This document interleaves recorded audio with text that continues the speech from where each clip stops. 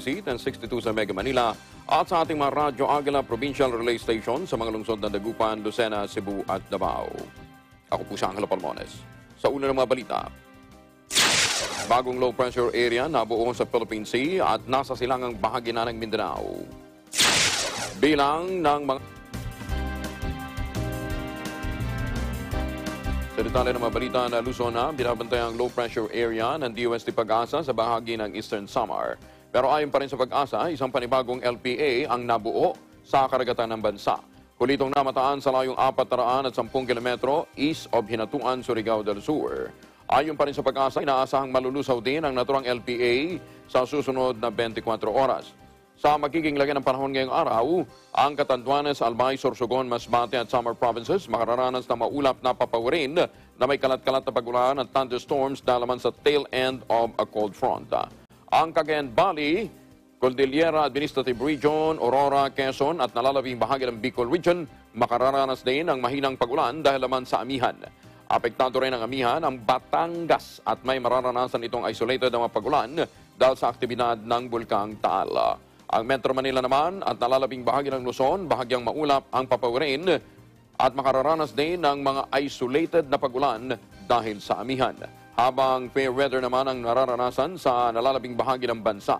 Wala namang inaasahang sama ng panahon na papasok sa Pilipinas sa susunod na dalawa hanggang tatlong araw.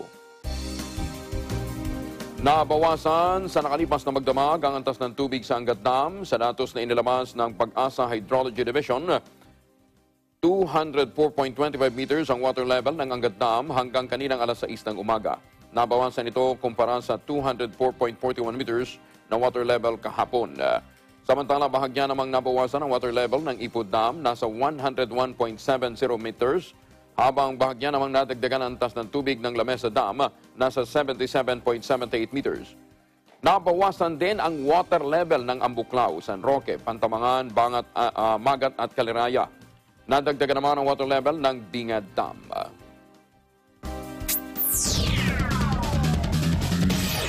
Mga apektado ng pagputok ng uh, Bulkan Taal, umabot na ng mahigit 53,000 katao. Pinsala sa agrikultura, pumalo naman sa halos 75 million pesos. Detalye mula kay Eagle News reporter Mar Gabriel. Umabot na sa mahigit 53,000 residente na katumbas ng 12,486 na pamilya sa Calabarzon Region ang apektado ng pagputok at pagbuga ng abo ng Bulkang Taal. Sa pinakahuling tala ng NDRRMC, 43,681 na individual o 10,000 pamilya ang tumutuloy ngayon sa 217 na evacuation center sa Batangas, Cavite at Laguna. Labing dalawang syudad at munisipalidad naman sa nasabing mga probinsya ang wala pa ring supply ng kuryente. Base naman sa assessment ng ahensya, pumalo na sa 74.5 million pesos ang halaga ng pinsala ng pagputok ng bulkan sa agrikultura sa lalawigan ng Cavite at Batangas higit 73.9 million pesos ang pinsala sa taniman ng kape at kalahating milyong piso naman ang pinsala sa maisan habang 65,000 piso ang pinsala sa livestock o sa mga alagang hayop. Umabot na rin sa halos 5 milyong pisong halaga ng relief goods at medical supply ang naipamahagi ng DSWD at DOH sa mga apektadong residente. Para sa Eagle News, Mar Gabriel, IM1 with 25. Malacanang umapilan sa mga residenteng sakop ng 14-kilometer permanent danger zone ng Taal Volcano na wag nang magpumilit pang bumalik sa kanilang mga tahanan. Detalye malaki Eagle News reporter Vic Samintak. Nananawagan ngayon ang Malacanang sa mga residenteng sakop ng 14 kilometers permanent danger zone sa Taal Volcano na huwag magpumilit na bumalik sa kanilang tahanan. Sinabi ni Presidential Spokesman Salvador Panelo na dapat makinig ang mga residente sa babala ng mga eksperto na lubhang delikado ang kanilang lugar dahil sa aktibidad na patuloy na ipinapakita ng Bulkang Taal, lalo na ang madalas na paglindol at pagbitak ng mga lupa. Inihag ni Panelo na ginagawa lamang ng mga otoridad ang kanilang tungkulin sa pagpapatupad ng total lockdown sa mga bayan at barangay na nasa loob ng 14 kilometers permanent danger zone. Sa ngayon ay pinaiiral na ng mga otoridad ang total lockdown sa mga bayan ng Talisay, Agoncillo, Balete, Lemery at bayan ng Laurel. Vic Sumintak, Eagle News, I am 1 with 25. Kumina ang mga pagputok na naitala sa Bulkan Taal sa nakalipas na 24 oras. Sa latest volcano bulletin ay pinalabas ng pag-asa o DOST PBOX. Mas mahina na ang naitalang pagsabog sa bulkan. Ang pagputok nito sa nakalipas na 24 oras ay nagdulot ng pagbuka ng dark gray steam-laden plumes na umabot naman ng hanggang 1,000 meters ang taas. Sinabi rin ng PBOX na may nakitang mga bagong bitak sa mga barangay sa Lemery, Agoncillo at San Nicolas. Simula noong uh, alauna ng hapon ng January 12, 2020, umabot na sa 466 ang naitatalang volcanic earthquake ng PBOX. Sa nasabing bilang, 156 ang nakapagtala ng intensity na umabot ng intensity 1 hanggang intensity 5. Ayon pa rin sa PBOX, ang nasabing paggalaw ng lupa na sunod-sunod na nararamdaman ay senyales ng patuloy na magmatic intrusion sa loob ng taal na maaaring magresulta sa muling pagsabog nito. Nagpapala naman ang alkalde ng Balete, Batangas sa kanyang mga kababayan na huwag na munang bumalik sa kani-kanilang mga tirahan dahil may peligro pa rin dala ang patuloy na pag-albroto ng Bulkan Taal. Matatanda ang natabuna ng makapal na ashfall ang ilang barangay matapos umabog ang bulkan noong linggo. Sinabi ni Balete Mayor Wilson Maralita, Iniinspeksyon niya ang lugar upang malaman ang sitwasyon doon at mm, nalamang maraming hayop ang namatay. Nalanta na rin ang mga taniman matapos matabunan ng volcanic ash. Ayon sa alkalde, halos wash out na ang ilang barangay sa pagputok ng Bulkan Taal kaya't wala nang babalikang bahay pa ang kanyang mga kababayan dahil natabunan na rin ng abo.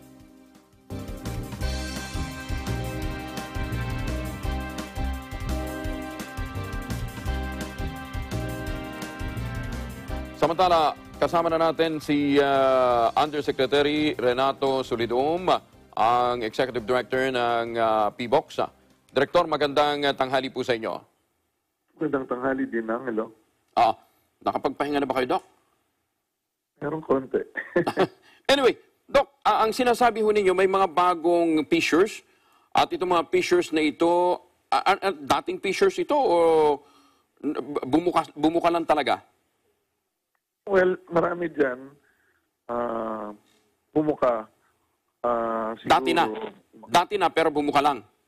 Oh, dati na at bumuka. Kasi noong 1911, um, before and after the explosive phase ng eruption, eh, meron na mga fissures na nakita.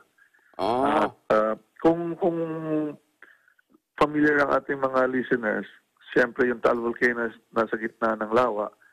Pero kung lalagyan natin ng line ang lawa na nasa baba ng Tagaytay Ridge na papuntang ah, Laurel area at sa kanan naman ay yung boundary ng lawa sa south at papuntang Lemery mm po yung tinatawag naming Taal Volcano Fracture Zone na maraming uh, fissures na nangyari during the 1911 eruption. Oh. At uh, tingin namin, uh, yung mga paglindol na malalaki, nararamdaman ang marami, at yung mga fissures ay magkaugnay na kung saan umaakyat ang magma ngayon at naitutulak niya ang kalupaan kaya nagkakaroon ng lindol at uh, fissure. Hindi lang naman fissure ang nakikita, pati yung deformation ng ground kasi parang may napapaangat ng konti sa ibang lugar. Ah, okay. Pero yung fissures na yun, mga bitak lang siya, hindi naman nangangahulugan na may lalabas na laba doon, ah, Direktor.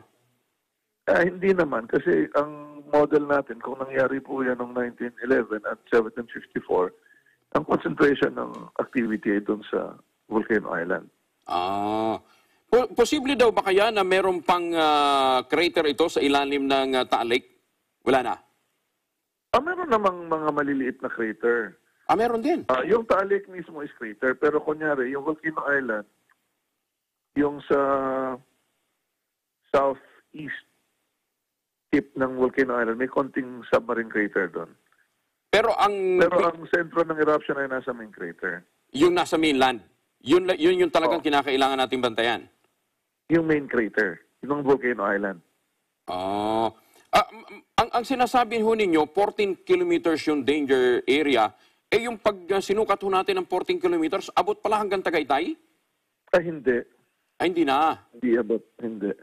Baka maling mapa yung ginagamit niya. Ah, okay. Hindi, may, may nakita lang kaming mga mapa. I- iba pala Wala yung... ba ang ah, nila? May ah, gumawa na ng mapa, wala, hindi po kasama yung Tagaytay Ridge doon. Yung Ridge hindi kasama. Pero kung yung sa slope ng Calera Wall from Tagaytay, may kasama yun ng 14. Ay, yung, na, nando sa gilid. Ibig sabihin, lalagpas na hanggang Talisay talaga.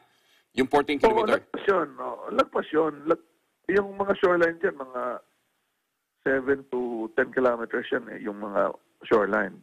Aha. So, dagdag ka pa ng 4 na kilometro palayo.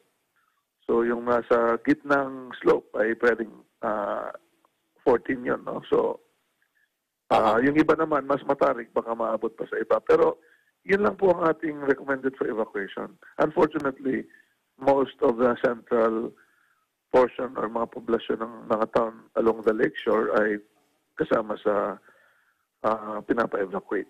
Oo. Pero yung Lemery ho pala, Director, talagang ah, me- medyo critical yung area at matindi na yung pinsala ngayon. Would you recommend na yan eh balikan pa ng mga residente?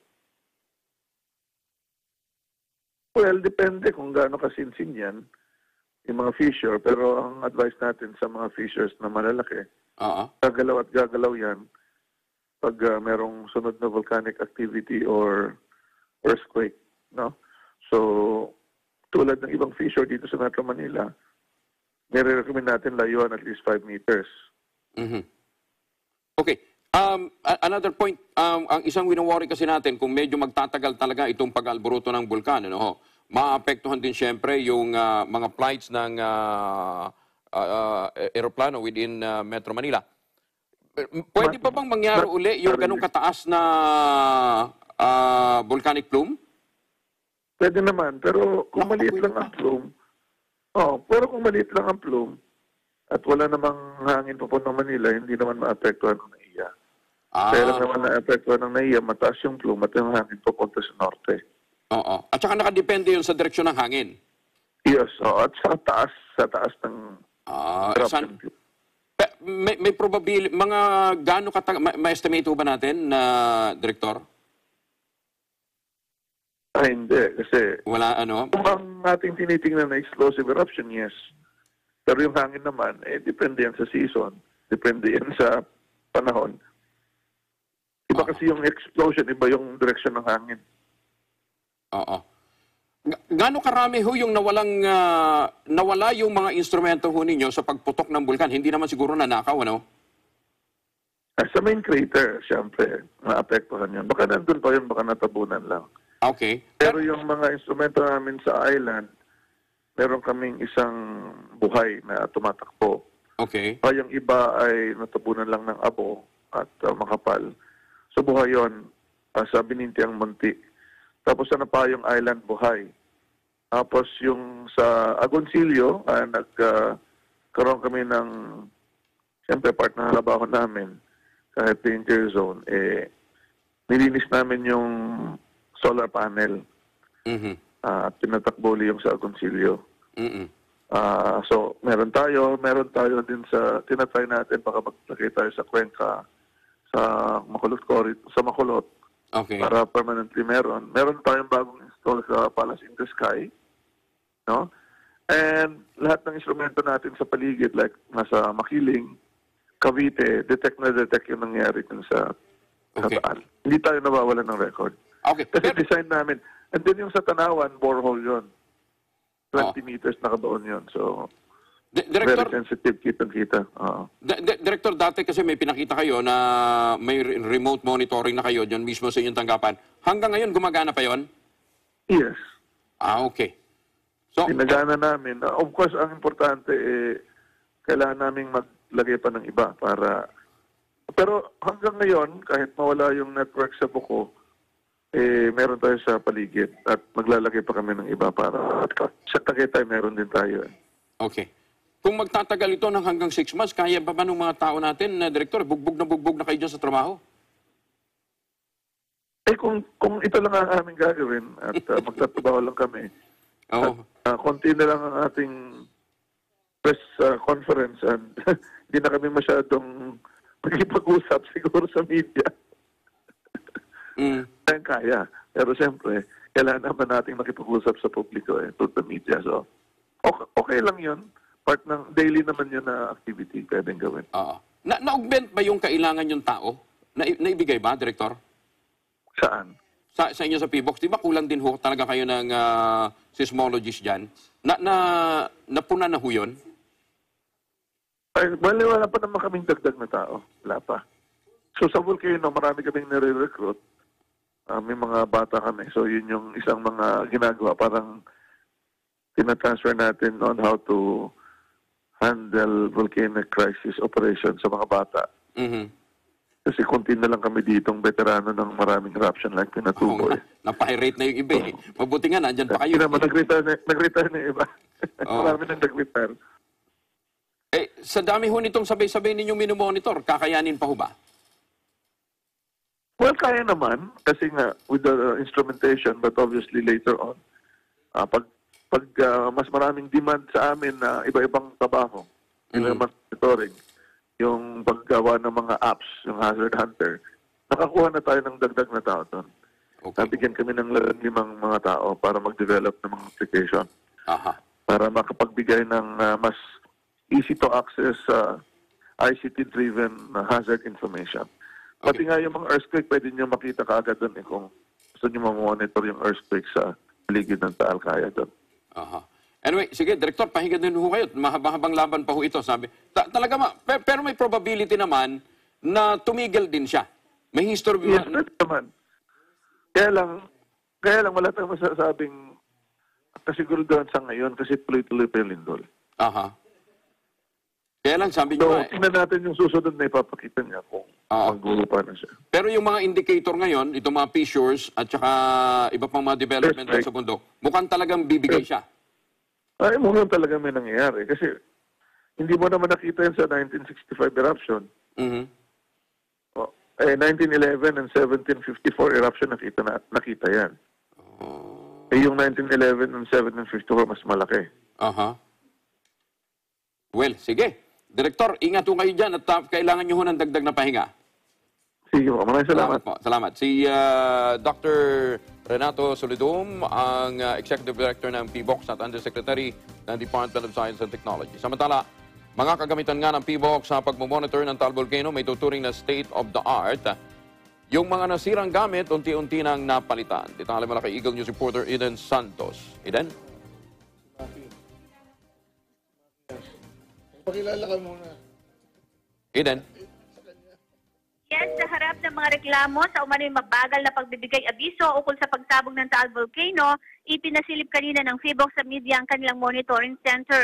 Ayon kay FIBOX Officer in Charge at DOST Undersecretary for Scientific and Technical Services Renato Solidum, makikita sa kanilang monitoring center ang naging aktibidad ng Taal at ang progreso nito hanggang sa kanyang pagsabog. Yan ay sa tulong ng kanilang mga state-of-the-art equipments na nakatanim na, sa main crater at buong paligid ng Taal.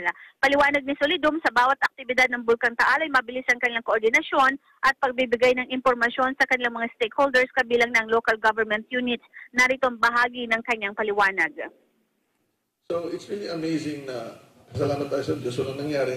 Pero matagal na po kaming nakikipag-coordinate sa Batangas province at yung mga tao niyan. Since uh, kami ang nan- nan- nandyan, ang dami na namin pakikipagpulong. So hindi po yan na meron tayong mamamotor, sasabihin mo lang, yun yung interaction, hindi po ganun yun. At alam ng mga tao yung nangyayari sa pulo. At ang main stakeholder natin, pag mababang alert, would be people in the volcano island and of course, yung local government. So kung nataga Manila ka, hindi ka taga doon, baka hindi mo masusubaybayan yung nangyayari. Ipinakita rin niya sa media ang ipinagmamalaking state-of-the-art monitoring and earthquake detection equipment na nagbibigay ng impormasyon ukol sa mga nagaganap na lindol sa ng pagsabog ng Taal. Narito pa rin ang bahagi ng kanyang paliwanag.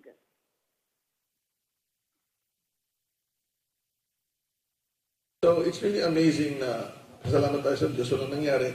Pero matagal na po kaming nakikipag-coordinate sa Batangas province at yung mga tao niyan. Since uh, kami ang nan- nandyan, ang dami na namin pakikipagpulong. So hindi po yan na meron tayong mamamotor, sasabihin mo lang, yun yung interaction, hindi po ganun yan. At alam ng mga tao yung nangyayari sa pulo. At ang main stakeholder natin, pag mababa ang alert, would be people in the volcano island and of course, yung local government. So kung nataga Manila ka, hindi ka taga doon, baka hindi mo masusunod. Kabilang din sa mga makabagong kagamitan ng PHIVOX ay ang electronic tilt meter na ginagamit sa pagsukat ng ground tilt malapit sa bulkan at monitoring ng ground deformation. Meron din silang global positioning system o GPS na tumutulong sa pagdetect ng pagbabago sa surface ng bulkan. Meron din umanong Taal Lake Continuous Carbon Dioxide Monitoring in a volcanic lake na sumusukat ng real-time na temperatura at acidity ng lawa. Ito umano ang kauna-unahan sa buong mundo bukod pa sa iba nilang mga kagamitan. Ayon kay Solidum, nagsimula na silang maglagay ng panibagong mga kagamitan sa ibang lugar malapit sa taliban sa mismong crater nito na hindi pa maaring puntahan. May gamit na rin sila niya na malapit sa crater na tinatawag ng VTBM na muling gumana. Sisikapin din nila na magpalipad ng drone para mamonitor ang main crater ng Taal. Binigyan din ni Solidum na bagaman nagkaroon ng paghina ng volca- volcanic eruption ay patuloy naman ang dahan-dahang paggalaw ng magma sa ilalim ng bulkan kaya hindi pa rin sila nagbababa ng alert level 4. Para sa Eagle News, Eden Santos, I am one with 25. Binati naman ng Pangulong Rodrigo Duterte ang mabilis na pag-responde ng mga ahensya ng gobyerno at lokal na pamahalaan sa pag-alboruto ng Bulacan Taal. Sa isinagawang situation briefing sa Batangas Provincial Sports Complex sa Batangas City, sinabi ng Pangulo na masaya siya dahil karamihan ng mga ahensya ng gobyerno ay nasa Batangas para aksyonan ang sakuna. Ayon sa Pangulo, ang pag-alboruto ng bulkan ay continuing process. Dahil dito, kailangan pa rin na niyang bantayang maigi ang sitwasyon sa nasabing lalawigan.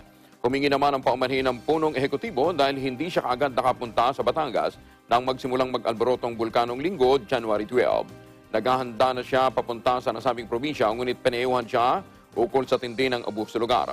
Pinilit naman niya niyang makapunta noong lunes ng umaga sa kabila nito.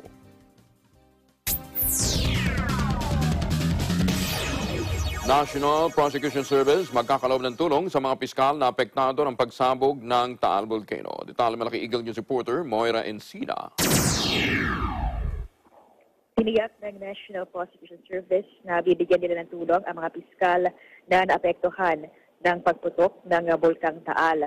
Sinabi ni Prosecutor General Benedicto Malcontento na gumagawa ng paraan ng NPS, DOJ para magkalobaan ng tulong at ayuda ang maapektado ng pag- pag-alboroto ng Taal Volcano. Nagpagpulong na anya siya sa mga kasabahang piskal para makapag-abot ng tulong sa mga tinamaan ng kalamidad.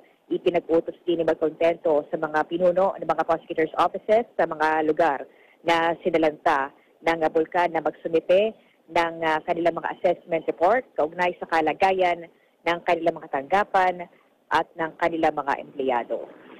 Para sa Eagle News, Morning C9125. Department of Justice, ipinapaubaya na sa Department of Trade and Industry ang pag-imbestiga sa mga mapagsamantalang negosyante kasunod ng pagputok ng Bulkan Taal. Detalye mula kay Eagle News reporter Madeline Villar Moratilio.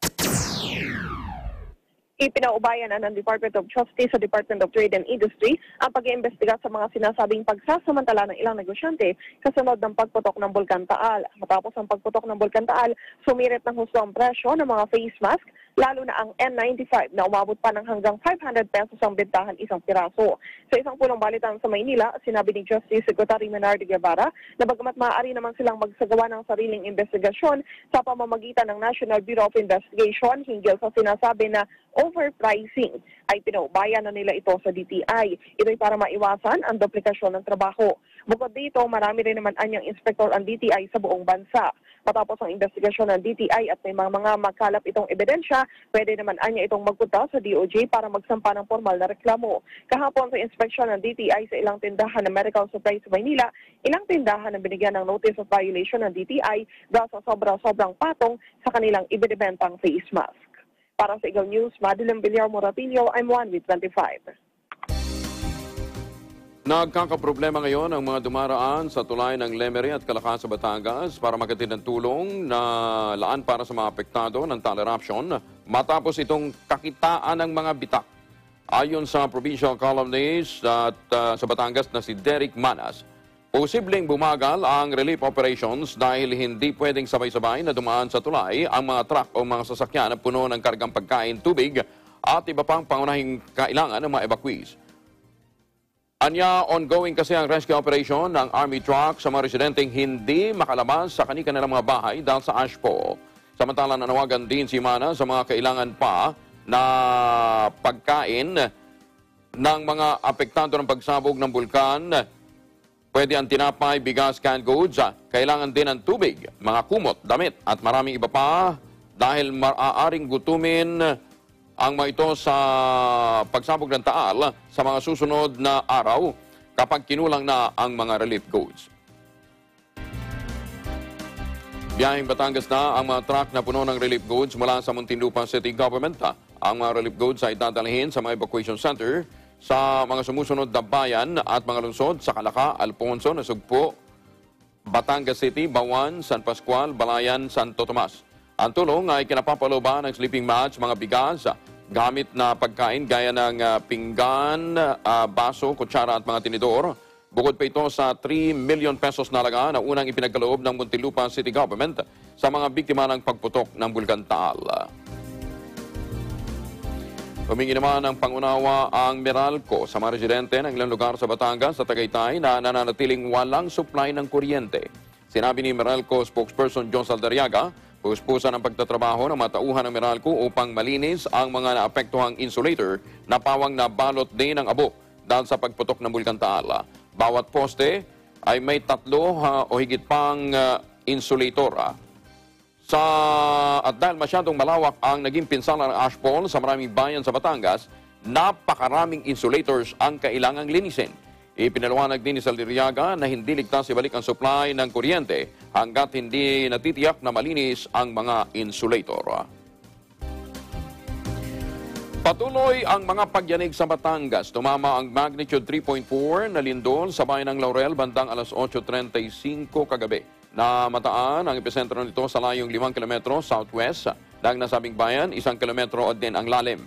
Niyanig naman ang magnitude 3 na lindol ang San Nicolas at Agoncillo. Sa datos pa rin ng PBOX na mataan ang epicentro ng magkahiwalay na lindol sa layong 6 na kilometro northeast ng San Nicolas bandang alas 7 ng gabi.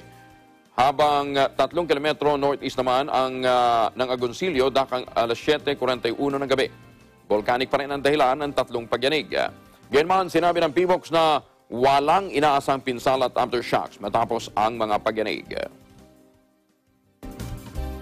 Nagbabala ang Department of Health sa publiko na huwag bumili o kay kainin ng mga isda na galing sa Taal Lake at malapit sa Batangas. Sinabi ni Health Assistant Secretary Maria Francia Laksamana, hindi na dapat pang bumili ng isda galing sa nasabing lawa para sa kaligtasan din ng publiko. Namatay ang mga isda bunsod ng sulfur o anumang uri ng kemikal mula sa ibinugang abo ng Bulkan Taal. Kung makakain namang anumang uri ng isda mula sa bahagi ng Taal o Batangas, dapat bantayan ang mga mararamdamang sintomas. Kabilang na rito ang pananakit ng tiyan, pagsusuka at pagdumi. Payo pa ni Dr. Lahonumana, agad na i-rehydrate at bantayan ang mabuti ang uh, sitwasyon ng pasyente.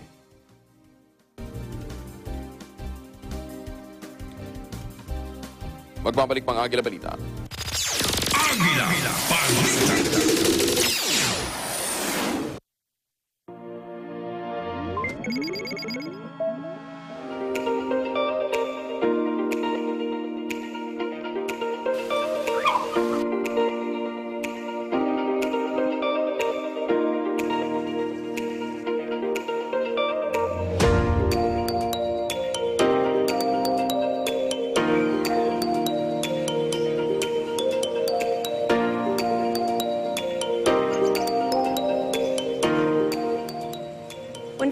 Philippines, Manila or Quezon City is a popular destination. But oftentimes, the hustle and bustle of the city can be more stressful on your vacation. So when you feel the need to reconnect to nature or relax again, there's a beautiful oasis just outside of the city called the Garden at Ciudad de Victoria.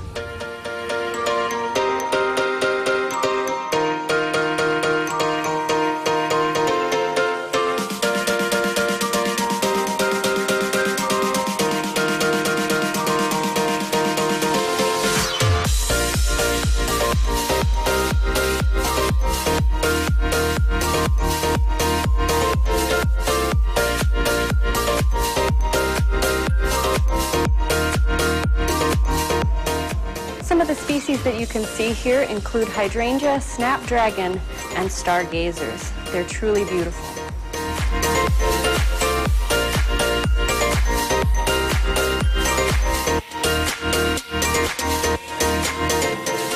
The gardens at Ciudad de Victoria are so peaceful, tranquil, and beautiful that it's become a haven for young couples and a very popular venue for engagement photos.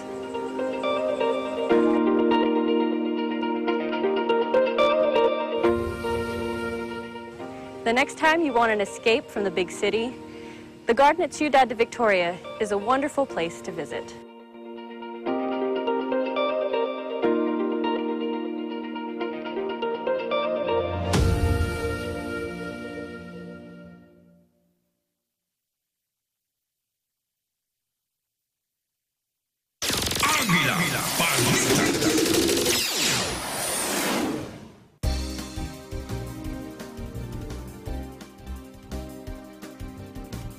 Balik tayo sa mga balita na pinagutos ng Department of Tourism ang agarang pagpapahinto ng tourism activity sa mga lugar na apektado ng pagputok ng bulkan. Umapela ang DOT sa lahat ng stakeholders na makipagtulungan, itigil muna ang kanilang operasyon lalo na kung sila ay nasa mga lugar na apektado ng pagsabog ng bulkan. Sinabi pa ng uh, DOT na pangunahing prioridad ang kalusugan, kaligtasan at kapakanan ng mga manggagawa at mga turista, lalo pat nasa alert level 4 ang Bulkan Taal. Hiniling din ng DOT na makipagtulungan ang lahat para maiwasan ang panganib na maaaring dulot sandaling lumala pa ang sitwasyon. Hindi na kailangang uh, magsuot pa ng N95 mask ang mga taga Metro Manila. Ito ang binigyang linaw ni Health Assistant Secretary Maria Laksamana matapos na makarating sa ilang bahagi ng Metro Manila ang ashfall, bunsod naman ang pag-albruto ng Bulkan Taal. Ayon kay Laksamana,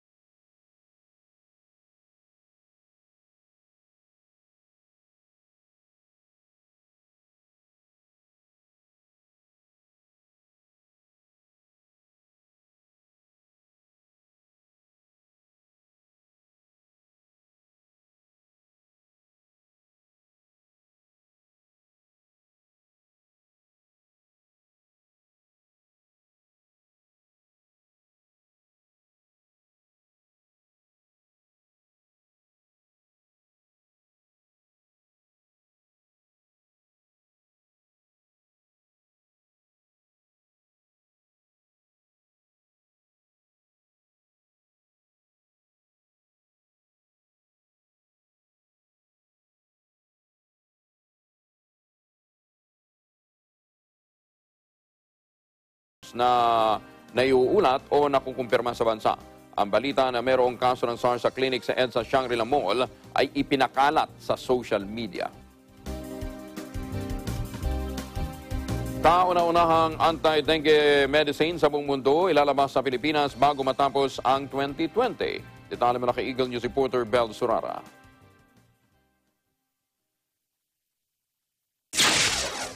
Dapat maging proud ang mga Filipino dahil sa Pilipinas ilalabas ang kauna-unahang anti-dengue medicine sa buong mundo. Ito ang pahayag ni Dr. Jimmy Montoya, ang Executive Director ng Philippine Council for Health Research and Development o PCHRD ng Department of Science and Technology o DOST. Ayon kay Montoya, tapos na ang first clinical trial o ang tinatawag na preclinical testing ng nasabing anti-dengue drug. Lumabas sa first clinical trial na walang dose-limiting toxicity ang gamot. Ang Phase 2 at Phase 3 naman ng clinical trials ay sisimulan ng Filipino researchers sa unang quarter at matatapos sa third quarter ng taong ito.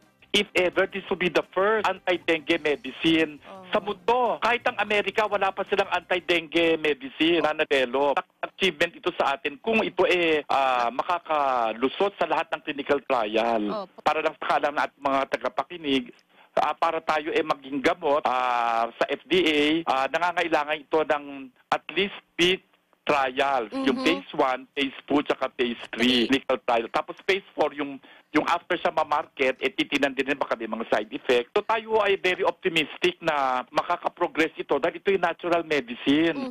Oo. So ito yung magandang development. We have to be proud of this ha, kasi this is purely developed by Filipino scientists ha. Purely ingenuity. Umaasa ang mga Pinoy researchers na mailalabas na sa merkado ang kauna-unahang anti-dengue medicine bago matapos ang taong 2020. Para sa Eagle News, Bel Surara and I'm one with 25. Moratorium naman sa pagbabayad ng loans ng mga SSS at GSIS members na naapektuhan ng pagsabog ng taal isinusulong sa Senado. Detalye malaki Eagle News reporter Mayan Corbera. Nais ni Senador Sherwin Gatchalian na magkaroon ng moratorium sa pagbabayad ng utang sa GSIS at SSS ang mga miyembro nito na matinding naapektuhan ng pagsabog ng Bulkang Taal. Ayon kay Gatchalian, marami sa mga sinaranta ng bagyo o pagsabog ng Taal ay hindi nakakapasok sa kanilang trabaho kaya wala silang kakayahan na magbayad ng obligasyon sa SSS at sa GSIS. Maghain ang senador ng resolusyon para maabisuhan ang dalawang tanggapan ng gobyerno na magpatupad ng moratorium o huwag munang pili ng utang ng mga nasaranta. Pabor naman ang senador sa panukalang batas na layong pagkalooban ng limang araw na special emergency leave ang mga empleyado at manggagawa sa pribado at pampublikong sektor na naapektuhan ng kalamidad. Para sa Eagle News, may Ann Corbera, AM1 with 25.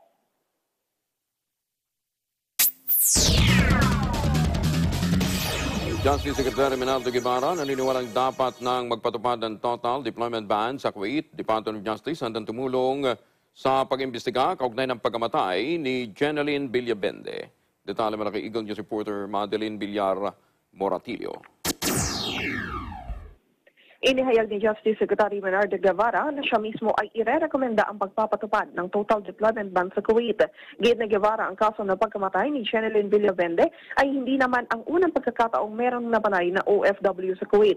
Bukod dito, meron na rin anyang bilateral agreement ang gobyerno ng Pilipinas at Kuwait pero meron pa rin namatay na OFW. Matatanda ang nabuo ang bilateral agreement na ito matapos ang pagkamatay ng OFW na si Juana de Mafilis na natagpuan pa sa loob ng isang freezer. Gite Guevara, marami namang bansang pwedeng puntahan ang ating mga ang mga Filipino para magtrabaho kaysa sa Kuwait na hindi ka inirerespeto at inaabuso.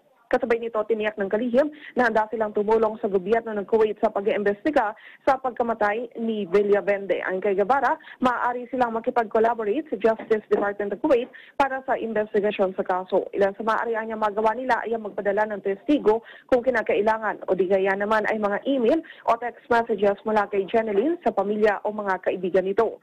Una rito, batay sa resulta ng autopsy ng NBI sa labi ni Jeneline, nakita na nakaranas ito ng pang-abusong sexual. Taliwas Palibas ito sa autopsy report ng Kuwait na physical abuse umano ang ikinamatay ni Jeneline. Para sa Eagle News, Madeline Villar Moratillo, I'm 1 with 25. Nasa bansa ngayon ang isang barko ng Chinese Coast Guard ah, para sa isang goodwill visit. Mananatili ang nasabing barko ng China sa bansa ng limang araw. Itinuturing naman ng Philippine Coast Guard bilang isang milestone ang pagbisita ng Chinese Coast Guard. Si Madeline Villar Morotillo para sa karagdagang detalye.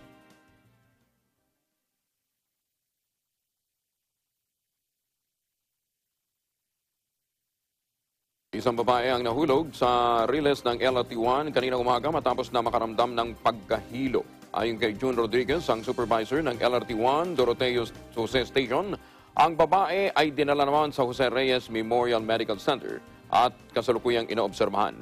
Nag-aabangan niya ang babaeng pasahero sa northbound station ng Doroteo Jose dakong alas 6.45 ng umaga nang bilang mahilo at mahulog sa riles. Buti na lamang niya at walang paparating na trend. Sinabi ni Rodriguez na agad na sinagip ng kanilang mga tauhan ng babae at hindi na lang sa pagamutan. Ang biktima naman ay nagtamo ng galos sa muka. Paalala ng pamunuan ng LRT-1 sa mga pasahero. Kung makakaramdam ng hilo, ipagbigay alam kaagad sa kanila upang matulungan. Pangunahing prioridad din niya ng LRT-1 ang kaligtasan ng lahat ng mga pasahero upang matiyak na mas ah, magiging maayos ang kanilang serbisyo.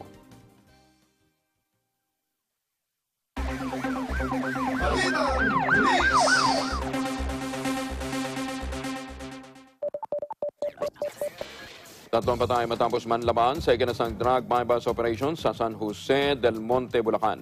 Dalawa naman ang naaresto at naabot sa bulto-bultong shabu ang nasabat ng mga pulis sa mga suspect, kasama pa ang tatlong baril. Karagdagan nagdali mula kay Erlo Bringas. Nakipagbarilan kaagad sa mga tauhan ng San Jose del Monte Police ang tatlong drug suspect na ito sa barangay Gaya-Gaya San Jose del Monte, Bulacan kanilang madaling araw. Kinilalang tatlong napatay na drug suspect na si Percy Barsamora, Luis Lasala at isang alias Bayaw. Napasok ng mga pulis ang drug din ng mga suspect na kung saan nagkaganap ang iligal ng transaksyon. Nakaramdam agad ang nilang mga suspect na pulis na pala ang kanilang katransaksyon kaya ang resulta nauwi ito sa engkwentro. Ayon sa mga pulis, may tuturing nilang sindikato at high value target ang mga ito na kung saan talamak ang ginagawang operasyon sa area ng Bulacan. Itong mga targets natin is actually is kasama sa ating ah, PNP, PDEA Unified Watch List na kung saan ang kanilang operations ay talagang ah, napakatalamak doon sa area. Kasama na din po tumatawid ng Caloocan at sa, sa, sa mga kalapit na mga barangays. Ah, sa pan, kanyang pananakot at sa, sa kanyang ah, mga illegal activities ay talagang nakakabahala at nakakatakot na doon sa lugar. Naaresto naman ang dalawang kasamahan ng tatlong napatay na suspect na si Jeffrey Lasala at Menchi Arquisola habang nakatakas naman ang isang Alexander Masanay alias Butog. Aminado naman raw sila na sila'y nagbebenta at gumagawa ng ganitong uri ng pagkakakitaan. Minsan lang sa paggamit trabaho. Ay sa isa sa trabaho sa Rebelino. Nagsundo na po para dagdagan yung pambiling kamot ng apo ko. Hindi ko akalain ganito pagpasok ko. Nasabat sa mga suspect ang pitong bulto ng shabu na nagkakahalaga ng isang daang libong piso maging ang drug para pernalias. Kalibre 9mm na baril, isang improvised caliber 38 na handgun at caliber 38 na baril. Maharap sa kasong paglaba sa dangerous drugs ang mga naarestong suspect habang patuloy namang tinutugis sa mga nakatakas na habang patuloy namang tinutugis ang nakatakas na si alias Butog. Tinitingnan namin yung mga previous incidents ng mga shooting incident. Baka ah, through cross-matching po ng baril na nakuha sa kanya, we, we will identify kung ah, itong suspect na ito is ah, siya yung isa sa mga personalities na involved ng mga previous shooting incident sa area. Para sa Eagle News, Arlo Bingas, I am 1 25 At yan na po ang kabuuan ng ating mga balita sa pangalan ng ating mga kaagapay sa Eagle News Service. Ako po siya Angela Palmonen sa M1 with 25. Susunod ng letters and music dito sa Net 25. At now and then kasama si Julie Fernando sa Radyo Agila. Sumainyo ang mga balitang kinara.